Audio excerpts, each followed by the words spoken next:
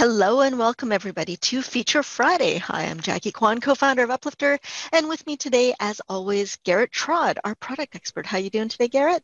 Hello, good, thank you. How are you? I'm doing all right. Today, are we are we gonna do?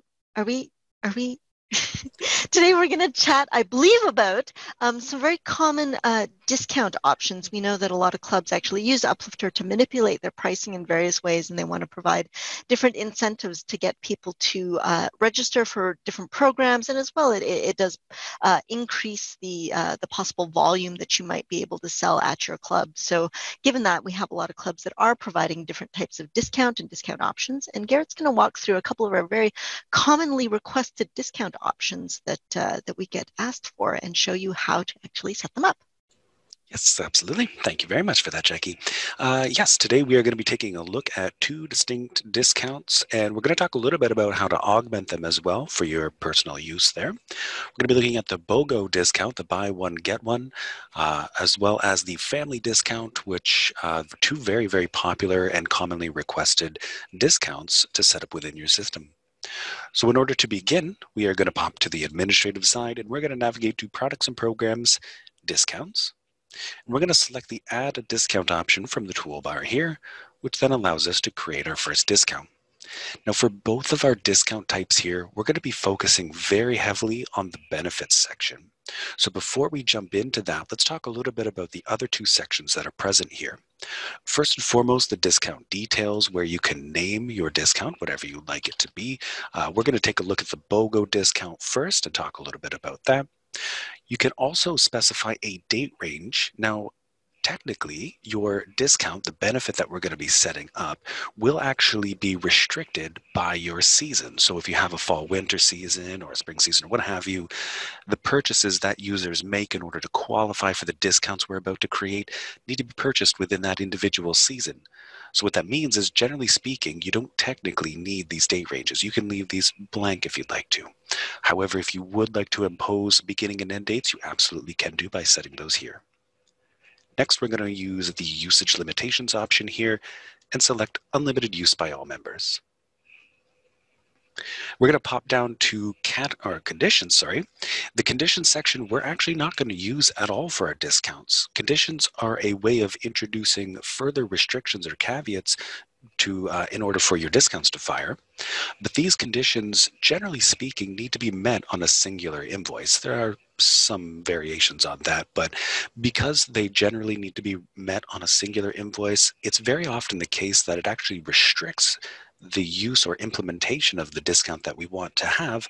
So in these particular instances, we're going to let the benefit do not only the heavy lifting of checking things, but also applying the discount. And we're going to leave out the condition for right now. So with all of that said, let's take a look at the benefits and talk about the BOGO, the buy one, get one. When we select add a benefit here, we first need to choose what type of benefit or what type of discount we want to implement. A BOGO can use one of two different options here, item count or item count different targets. We're going to be looking, focusing solely on the item count today. Uh, we're going to select this option. And when you talk about a BOGO discount or sort of conceive of a BOGO discount, you can think of something like buy two, get one 50% off, or buy one, get one free, or buy this, get that. And so these are considering how many items you are buying. So they're counting the items. So that's why we're going to use an item count discount. And in the item count discount, we need to specify what items are going to be considered. Now for our example today, I want to actually focus on some basketball programs that I have. Now my basketball programs that I have here, let's actually focus on these. My basketball programs, as you can see, I have quite a few programs, but I also have a basketball camps program. And I actually don't want to include that in my discount. So when we're looking at my benefit here, and we need to choose what items actually qualify, we have several ways of targeting these items. I hit add qualifying items and I can choose what level or what scope of things I want to include. For instance, I could do all of my programs. I could do all of my subscriptions or products. It's not limited to just programs. I could do category levels, which might be really handy if I wanted to select everything in the basketball, everything in the basketball situation, basketball category level. But as I noted, this basketball camp shouldn't be included. So instead, because I've only got a handful of programs, I'm going to use the specific items option here. This actually lets me narrow things down really, really close to uh, really, really narrowly here and select just the ones that I want. And I can avoid the basketball camp. So there I've selected the items that I want to include, I want to target in order to uh, prompt this discount. So now we get to tell the system how many of these items they need to buy in order to prompt this discount. We're going to go along, or we're going to go ahead with the concept of buy two, get one 50% off. So in this instance, I need to tell the minimum, or the system the minimum number, which is going to be two in our example. Further, we can also set a maximum quantity. We're not going to do that right now, but we're going to come back to that in just a second. Now, next we get to set a value. So our value, we want to take 50% off. However, uh, this 50% as of right now is going to come off of all of the programs so long as they buy two.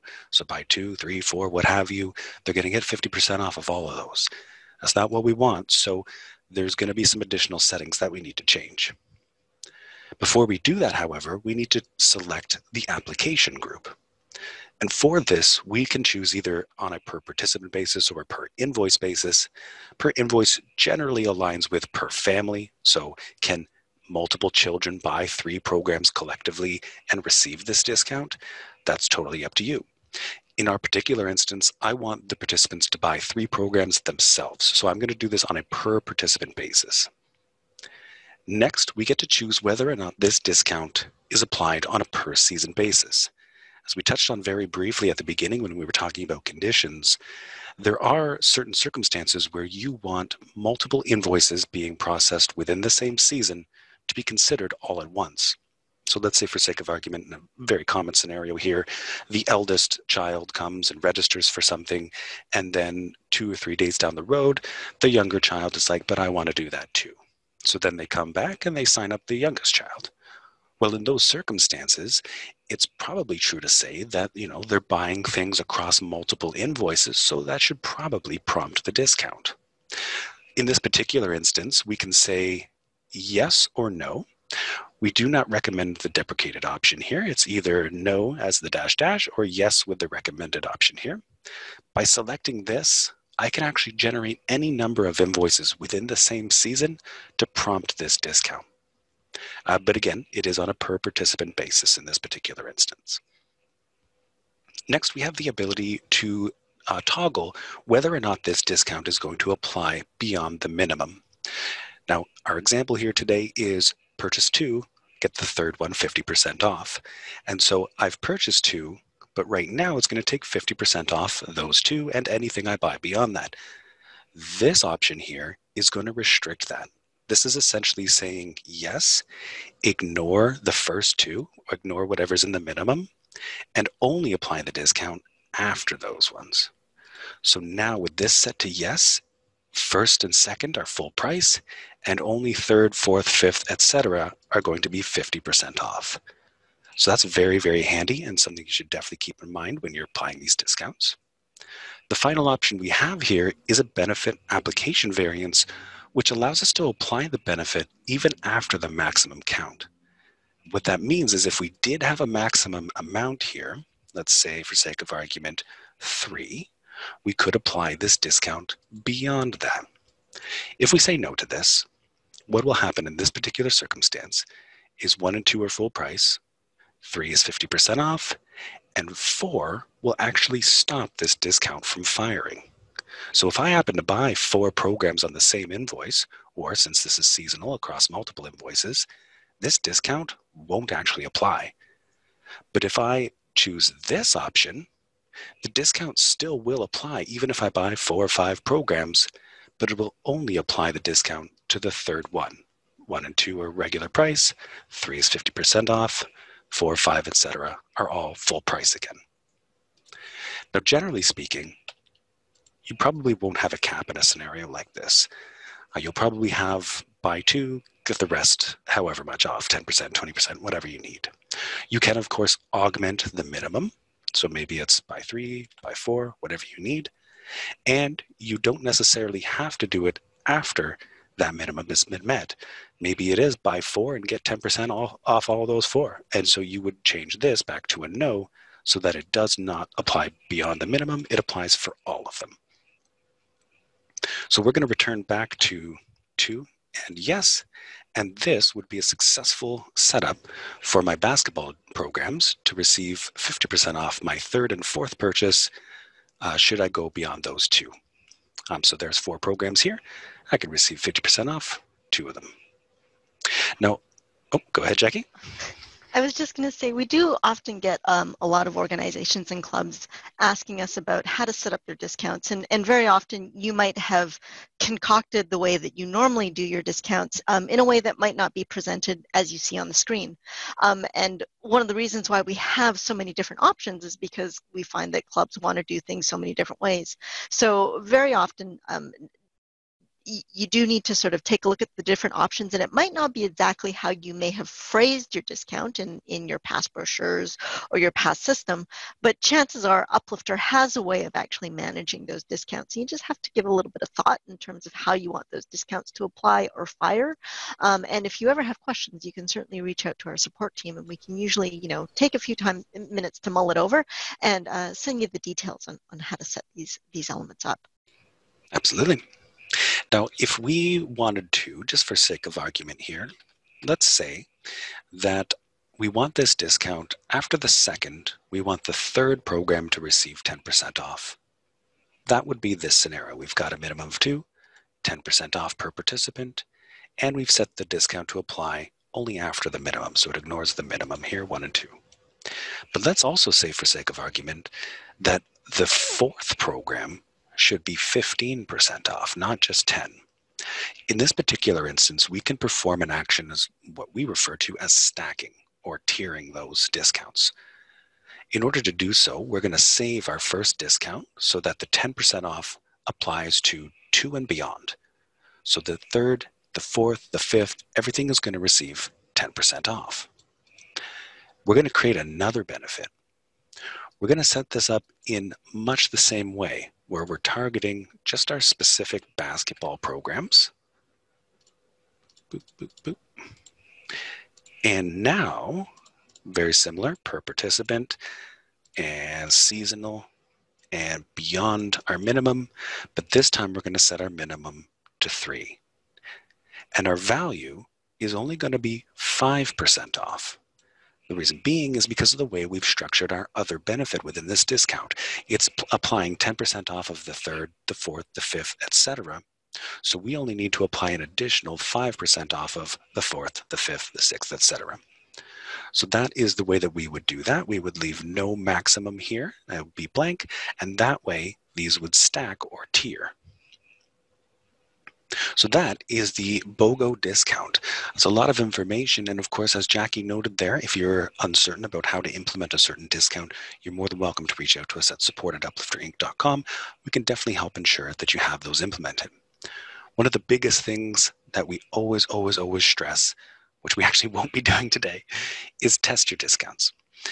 Please, even if you've followed this recording, even if you've followed our advice uh, through email, please always test your discounts and ensure that they fire and apply exactly how you want under all circumstances.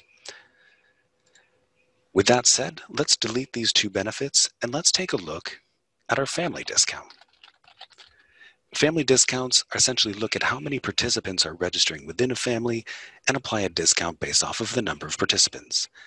In this uh, use case, we're going to look at a discount where one participant pays full price and the next participant gets 20% off, let's say. The settings We for three discounts today? Well, that first one was just one. Oh. Okay. well, in my eyes. I might be confusing people. Um, so the discount details and the conditions, they're going to stay the same as the previous discount. Uh, so our name, date range blank, usage limit unlimited, and no conditions. And we're going to select add a benefit. Now this time, instead of selecting the item count discount, we're going to look at the participant count discount because we're counting how many participants there are. Now, when we do so, we still need to select qualifying items. These are the items that are going to be considered by the discount should the minimum number of participants be met. This might be all of your programs, it might be everything you sell, including your subscriptions and fees, etc. In this particular instance, you have the same series of options to specify exactly or specify and target exactly what you'd like. So let's say for sake of argument, again, it's our basketball programs. Not including our basketball camp program, we're going to do specific items again, and we're going to find and target just our four basketball programs. Now we get to tell the system how many participants need to be registered. In this particular instance, like we noted, one participant pays full, the next participant pays 20% off. We need a minimum of one participant. Very similar to our item count discount, we have that same option of only applying the discount after the minimum has been met. So we know that we can check this off and the first participant will be ignored and pay full price and only the participants afterwards will get that 20% off. Our value is 20. Our discount method is percent off, 20% off. We also can specify the entire season, and this is uh, goes in line with the other seasonal discount that we looked at where kid A comes and signs up and two or three days later kid B wants to do the same thing. This is a great way to make sure that they still receive this discount even though they're making multiple purchases across multiple invoices. Last but not least, we do have some benefit application variances here. Now by default, both this discount and the item count discount will discount the cheapest item or the cheapest participant uh, in on the record or in the family. Uh, so because of that, you can rely on this to, by default, apply in how you want it to in most cases. There might, however, be some circumstances where you want to apply it to the highest cost participant instead. Additionally, you can also, very similar to the item count discount, have this apply past the maximum count if you've applied one. Um, you can also combine those two conditions together if you'd like. So what this test count would do is look at how many participants are registering in the basketball uh, programs I've listed. And if it's past one, then the next options, like two, three, four, etc., they'll get 20% off of their registration. So this process here, very similar to the previous discount, you can also stack this if you wanted to. So let's say for sake of argument, participant number two only gets 10% off, participant number three should get 15% off. We can stack these. So we can hit save on this benefit and we can create another benefit within the same discount, just like we did last time. Again, we're going to replicate pretty much everything almost identically to how it was. We're going to do that participant count discount. We're going to target the same items. We're going to tell it that it's going to be two participants this time, but only apply past the second. And we're going to do 5% off because we're adding on, we're stacking on to the discount that's already applying to the third participant, which was 10%. So in this particular instance, participant number two, three, four, etc., receive 10% off, and participants three, four, five, etc., receive an additional 5%, so 15 in total. And that, or those, are the two most common discounts that we have, the BOGO and the family discount. Jackie, do you have anything to add? Yeah, I was just going to mention that um, although Uplifter is incredibly flexible and allows you to actually set up a, a, great number of discounts, and we have encountered a lot of organizations that have come at us with with uh, very complicated discounts in terms of well, we want it to do this in this case, but then if we have these cases, we want something different to happen, or if we have these cases, we have something completely different to happen. Um, one of the things that that we often do recommend, but you don't necessarily have to do it with Uplifter is if you have the ability to simplify your discounts a little bit and make it so that everything you know is discounted at a percentage rate as opposed to a very fixed price um, applies to you know sort of generally all of your programs or a number of your programs what that does is it actually simplifies the way that you can set up your discounts and also simplifies the amount of testing that's required to make sure that everything fires the way that you exactly would like. Um, the more complication you add the more time that you have to spend as an organization to make sure that all those different combinations of different things that you want um, will get covered. So if you have a bit of flexibility before you actually start setting up uplifters, setting up your season, setting up your pricing, um, take a look and think about is this uh, is this technically feasible with um, with the tools that I have, and is this going to make it so that it's very difficult for us to set up, or or or does it simplify things for us? So so definitely keep that in mind when you actually organize your pricing and organize your discount setup. So. Um, but that's all I had to mention. Thank you, Garrett, so much for for showing us how to uh, take care of some of our very common discount options. Um, as mentioned, uh, as we always mention at the end of our Feature Fridays, we'll, I just want to quickly point out that we do have our refer and save option. So if you know of another club that could really uh, use some automation, some some excellent registration tools, some excellent uh, class and club management tools, uh, feel free to refer them by clicking on the refer and save link on your administration site. Send send them a quick email. If they use that link to sign up for their free trial, uh, they'll receive $10 off for six months and you'll receive $10 off for six months after they go live. So yeah. Jackie, I'm a little disappointed. You didn't use the very obvious segue of discounts to discounts. Uh, oh, I can't believe you didn't do that. I'm trying. I'm trying to not be so punny because. Oh, okay. Because I get all, all I, I, people just groan. Your kids have been making fun of you, haven't they? Yeah, yeah, yeah they have been. They just groan at me what all jerks. the time. Okay. Yeah. Yes, uh, well, absolutely. So, uh, thank you very much for that, Jackie, and thank you everyone for your time today. And I hope uh, you have a wonderful weekend, and we will see you next Friday. Take care. Thanks, everybody.